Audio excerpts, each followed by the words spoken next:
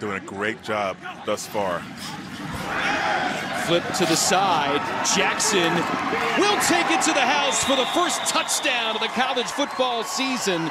Jalen Jackson scores it for Villanova. Again, excellent action in the backfield, confusing the defense, just making them pause just for a second. Can't take your eyes off your responsibility if you're playing defense.